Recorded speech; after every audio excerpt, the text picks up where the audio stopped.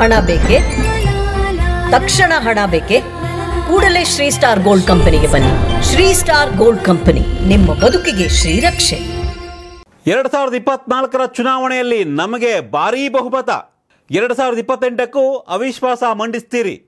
ಎರಡ್ ಸಾವಿರದ ಇಪ್ಪತ್ತೊಂಬತ್ತಕ್ಕೂ ನಾವೇ ಗೆಲ್ತೀವಿ. ರಾಹುಲ್ ಗಾಂಧಿ ಕಾಂಗ್ರೆಸ್ ವಿರುದ್ಧ ಪ್ರಧಾನಿ ಮೋದಿ ವಾಗ್ದಾಳಿ. ಪ್ರಧಾನಿ ನರೇಂದ್ರ ಮೋದಿಯವರು ಗುರುವಾರ ಲೋಕಸಭೆಯಲ್ಲಿ ದೊಡ್ಡ ಭಾಷಣವನ್ನು ಮಾಡಿದ್ರು. ಎರಡೂವರೆ ಗಂಟೆಗಳ ಕಾಲ ಅಮೋಘ ಭಾಷಣವನ್ನು ಮಾಡಿ ಅವಿಶ್ವಾಸ ನಿರ್ಣಯದ ಏನು ಮಂಡನೆ ಆಗಿತ್ತು. ಕಾಂಗ್ರೆಸ್ ಮತ್ತು ಇಂಡಿಯಾ ಇಂಡಿಯಾ ಮೈತ್ರಿಕೂಟ. ಅದರ ವಿರುದ್ಧವಾಗಿ ಮಾತನಾಡಿದ್ರು. ಸುದೀರ್ಘವಾಗಿ ಮಾತನಾಡಿದ್ರು. ಭಾರತ ಸ್ವಾತಂತ್ರ್ಯದಿಂದ ಹಿಡಿದು ಡಿವೈಡ್ ಆಗೋವರೆಗೂ ಅದಾದಮೇಲೆ ಕಾಂಗ್ರೆಸ್ ಅಧಿಕಾರ ಏನೆಲ್ಲ ಬಂತು, ಕಾಂಗ್ರೆಸ್ ನಾಯಕರು ಏನೆಲ್ಲ ಮಾಡಿದ್ರು ಬಾಂಗ್ಲಾದೇಶ ಆಗಿದ್ದು, ಪಾಕಿಸ್ತಾನ ಆಗಿದ್ದು, ಭಾರತವನ್ನು ಮೂರು ಭಾಗ ಮಾಡಿದ್ದು ಕಾಂಗ್ರೆಸ್ನವರೇ, ಇದೆಲ್ಲವನ್ನು ಕೂಡ ಆರೋಪ ಮಾಡಿದ್ರು.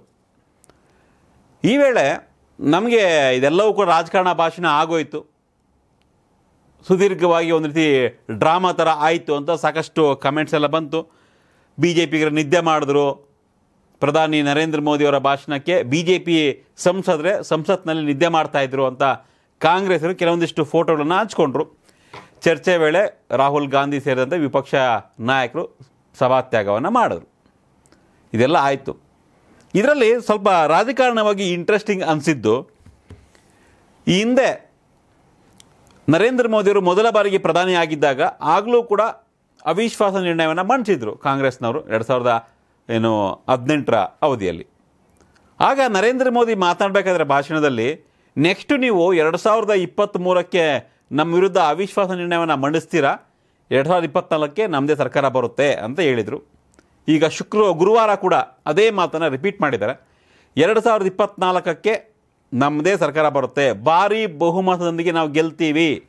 ಇಂದಿನ ಎಲ್ಲ ರಿಸಲ್ಟನ್ನು ಮೀರಿ ಬಿ ಜೆ ಪಿಗೆ ಎನ್ ಡಿ ಎ ಮೈತ್ರಿಕೂಟಕ್ಕೆ ಗೆಲುವಾಗುತ್ತೆ. ನೋಡ್ತಾರೆ ನೀವು ಅಂತ ಹೇಳಿದ್ದಾರೆ. ಎರಡು ಸಾವಿರದ ಇಪ್ಪತ್ನಾಲ್ಕಕ್ಕೆ ನಮ್ಮದೇ ಸರ್ಕಾರ ಬಿ ಜೆ ಪಿ ನೇತೃತ್ವದ ಎನ್ ಡಿ ಎ ಸರ್ಕಾರ ಭಾರತವನ್ನು ಮತ್ತೊಮ್ಮೆ ಆಳುತ್ತೆ. ನಾವೇ ಅಧಿಕಾರಕ್ಕೆ ಬರ್ತೀವಿ. ನೀವು ಇದೇ ರೀತಿ ವಿಪಕ್ಷದಲ್ಲೇ ಇರ್ತೀರಾ ಅನ್ನೋ ಒಂದು ಸವಾಲನ್ನು ಹಾಕಿದ್ದಾರೆ. ಇಂಟ್ರೆಸ್ಟಿಂಗ್ಲಿ ಇನ್ನೊಂದು ವಿಶೇಷ, ಓಕೆ, ಎರಡು ಸಾವಿರದ ಇಪ್ಪತ್ತ್ನಾಲ್ಕಕ್ಕೆ ಅಧಿಕಾರಕ್ಕೆ ಬರಬಹುದು ಅನ್ನೋ ನಿರೀಕ್ಷೆಯಲ್ಲಿ ಬಿ ಜೆ ಪಿ ನಾಯಕರಿದ್ದಾರೆ. ಆದರೆ ಎರಡು ಸಾವಿರದ ಇಪ್ಪತ್ತೊಂಬತ್ತಕ್ಕೆ ನೆಕ್ಸ್ಟು ಎರಡು ಸಾವಿರದ ಇಪ್ಪತ್ತೊಂಬತ್ತಕ್ಕೆ ಮತ್ತೆ ಲೋಕಸಭಾ ಚುನಾವಣೆ ಬರುತ್ತೆ. ಇಪ್ಪತ್ನಾಲ್ಕು ಆದಮೇಲೆ ಮತ್ತೆ ಐದು ವರ್ಷಕ್ಕೆ ಲೋಕಸಭಾ ಚುನಾವಣೆ ಬರುತ್ತೆ. ಕಾಂಗ್ರೆಸ್ ಹಾಗೂ ವಿಪಕ್ಷದವರು ನೀವು ಎರಡು ಸಾವಿರದ ಇಪ್ಪತ್ತೆಂಟಕ್ಕೂ ಕೂಡ ನಮ್ಮ ವಿರುದ್ಧ ಅವಿಶ್ವಾಸ ನಿರ್ಣಯವನ್ನು ಮಂಡಿಸ್ತೀರಾ? ಎರಡು ಸಾವಿರದ ಇಪ್ಪತ್ತೆಂಟಕ್ಕೆ ಕೇಳ್ತಿರೋದು ಎರಡು ಸಾವಿರದ ಇಪ್ಪತ್ತೆಂಟಕ್ಕೂ ಕೂಡ ನೀವು ಅವಿಶ್ವಾಸ ನಿರ್ಣಯವನ್ನು ಮಂಡಿಸ್ತೀರಾ? ಎರಡು ಸಾವಿರದ ಇಪ್ಪತ್ತೊಂಬತ್ತಕ್ಕೆ ನಾವೇ ಮತ್ತೆ ಅಧಿಕಾರಕ್ಕೆ ಬರ್ತೀವಿ ಅನ್ನೋ ಒಂದು ಸವಾಲನ್ನು ನರೇಂದ್ರ ಮೋದಿಯವರು ಹಾಕಿದ್ದಾರೆ.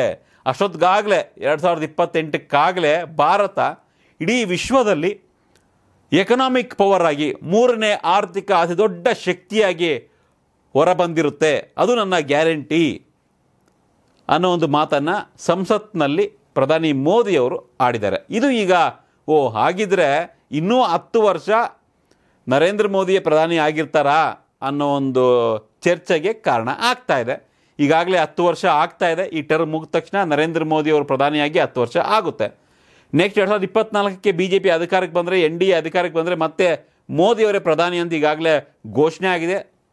ಹಾಗಾಗಿ ಎರಡು ಸಾವಿರದ ಇಪ್ಪತ್ತ ಒಂಬತ್ತರವರೆಗೂ ನರೇಂದ್ರ ಮೋದಿ ಪ್ರಧಾನಿಯಾಗಿದ್ದರೆ ಸುದೀರ್ಘ ಹದಿನೈದು ವರ್ಷಗಳ ಕಾಲ ಪ್ರಧಾನಿಯಾದಂತಹ ಹೊಸ ದಾಖಲೆಯನ್ನು ಬರೀತಾರೆ. ಒಂದು ವೇಳೆ ಎರಡು ಸಾವಿರದ ಇಪ್ಪತ್ತೊಂಬತ್ತಕ್ಕೂ ಕೂಡ ಮತ್ತೆ ಬಿ ಜೆ ಪಿ ಅಧಿಕಾರಕ್ಕೆ ಬಂದರೆ ಮೋದಿ ಪ್ರಕಾರ ಬರುತ್ತೆ ಅಂತ ಹೇಳ್ತಿದ್ದಾರೆ. ಮತ್ತೆ ನರೇಂದ್ರ ಮೋದಿ ಪ್ರಧಾನಿ ಆಗ್ತಾರಾ ಅನ್ನೋ ಒಂದು ಚರ್ಚೆ ಕೂಡ ಆಗ್ತಾ ಅಯ್ಯೋ, ಸಾಕಪ್ಪ ಮೋದಿಯವರು ಯೋಗಿಗೆ ಅವಕಾಶ ಕೊಡಿ ಅಂತ ಬಿ ಜೆ ಪಿ ನಾಯಕರು ಹೇಳ್ತಿದ್ದಾರೆ. ಕೆಲವೊಂದಿಷ್ಟು ಕಾರ್ಯಕರ್ತರು. ಒಟ್ಟಿನಲ್ಲಿ ಎರಡು ಸಾವಿರದ ಇಪ್ಪತ್ನಾಲ್ಕರ ಟಾರ್ಗೆಟ್, ಎರಡು ಸಾವಿರದ ಇಪ್ಪತ್ತೊಂಬತ್ತು ಕೂಡ ನಮ್ಮ ಟಾರ್ಗೆಟೇ ಎರಡು ಸಾವಿರದ ಇಪ್ಪತ್ತೊಂಬತ್ತಕ್ಕೂ ನಾವು ಗೆಲ್ತೀವಿ. ಎರಡು ಸಾವಿರದ ಇಪ್ಪತ್ತೆಂಟಕ್ಕೆ ನೀವು ಅವಿಶ್ವಾಸ ನಿರ್ಣಯವನ್ನು ಮಂಡಿಸ್ತೀರಿ ಅನ್ನೋ ಒಂದು ಸವಾಲನ್ನು ಹಾಕಿದ್ದಾರೆ. ರಾಜಕಾರಣವಾಗಿ ಸಾಕಷ್ಟು ಭಾಷಣ ಮಾಡಿದ್ರು. ಎಲ್ಲವೂ ಕೂಡ ರಾಜಕೀಯ ಭಾಷಣವೇ. ಕಾಂಗ್ರೆಸ್ ಏನು ಮಾಡಿಲ್ಲ, ಕಾಂಗ್ರೆಸ್ ಮೇಲಿನ ಭ್ರಷ್ಟಾಚಾರ ಆರೋಪಗಳು, ಕಾಂಗ್ರೆಸ್ನ ಆರೋಪಗಳು ಅದನ್ನ ಮಾತ್ರ ಹೇಳಿದ್ರು ನರೇಂದ್ರ ಮೋದಿ ತಮ್ಮ ಭಾಷಣದಲ್ಲಿ. ಕಳೆದ ಒಂಬತ್ತು ವರ್ಷದಲ್ಲಿ ನರೇಂದ್ರ ಮೋದಿಯವರು ದೇಶಕ್ಕಾಗಿ, ಜನರಿಗಾಗಿ ಏನು ಮಾಡಿದ್ದಾರೆ ಅನ್ನೋದನ್ನ ಹೇಳಲಿಲ್ಲ ಅನ್ನೋದು ಕೆಲವು ವರ್ಗಗಳ ಆರೋಪ ಬಿ ಜೆ ಪಿ ವಿರೋಧಿ ಪಕ್ಷಗಳ ಆರೋಪ. ನರೇಂದ್ರ ಮೋದಿಯವರು ಹೇಳಬೇಕು ಇದಕ್ಕೆ ಬಿ ಜೆ ಪಿ ನಾಯಕರು ಇದಕ್ಕೆ ರಿಯಾಕ್ಟ್ ಮಾಡಬೇಕು. ನೀವೇನು ಹೇಳ್ತೀರಾ, ಎರಡು ಸಾವಿರದ ಇಪ್ಪತ್ತೊಂಬತ್ತಕ್ಕೂ ಕೂಡ ಕೇಂದ್ರದಲ್ಲಿ ಲೋಕಸಭಾ ಚುನಾವಣೆ ಆದರೆ ಆಗಲೂ ಕೂಡ ಬಿ ಜೆ ಪಿ ಮತ್ತು ಎನ್ ಡಿ ಎ ಅಧಿಕಾರಕ್ಕೆ ಬರುತ್ತಾ? ಇಪ್ಪತ್ನಾಲ್ಕು ಬಗ್ಗೆ ಹೇಳ್ತಿಲ್ಲ, ಇಪ್ಪತ್ತೊಂಬತ್ತರ ಬಗ್ಗೆ ಕೇಳ್ತಾ ಇದ್ದೀವಿ. ನಿಮ್ಮ ಅಭಿಪ್ರಾಯ ಏನು? ಕಮೆಂಟ್ ಮಾಡಿ ತಿಳಿಸಿ. ಧನ್ಯವಾದಗಳು. ಕರ್ನಾಟಕ ಟಿ ವಿ ಇದು ಕನ್ನಡಿಗರ ಧ್ವನಿ.